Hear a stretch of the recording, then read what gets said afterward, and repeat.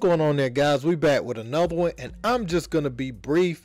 Today we have Conor McGregor punching the Miami Heat mascot, and I wondered to myself, why do we still have professional fighters trained to fight playing these skits with other professional athletes and mascots? Now, Conor was there to promote a pain relief spray, and part of the skit was he knock out the mascot and spray the mascot with the pain relief.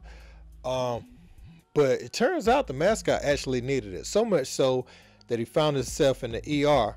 Let me just say the mascot has made it home after receiving some treatment and pain meds. But man, let's take a look at this.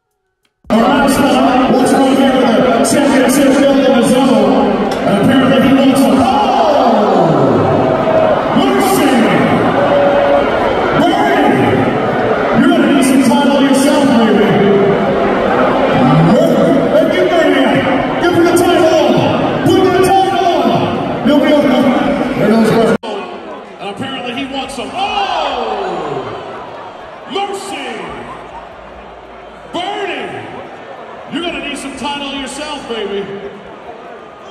Mur- get Burnie out. Give him the title on him. Put the title on him. Now, we know what happened with Big Show and Floyd Mayweather back in 2008, and we actually enjoyed that. And Big Show revealed that he actually told Mayweather to make it look real, but he made it look a little too real. And these fighters, I don't think they can turn that off when when they're told to throw a punch they may even try to pull something back on it, but they're so skilled at it that it ends up hurting somebody, man. So let's move away from these style skits. Let's just throw a fake punch or something for somebody really, really, truly gets injured to the point that it's catastrophic to their life. But I want to know what you guys think in the comments. Don't forget to like, share, and subscribe. Until next time, peace.